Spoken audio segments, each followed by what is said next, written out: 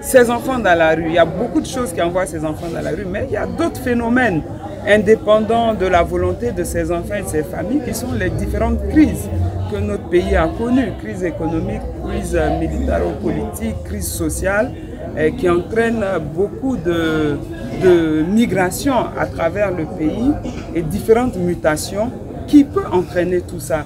Donc aujourd'hui, les signaux sont ouverts, les conditions sont réunies pour que la Côte d'Ivoire soit un pays avec zéro enfant dans la rue, en commençant par sa capitale économique qui est Abidjan.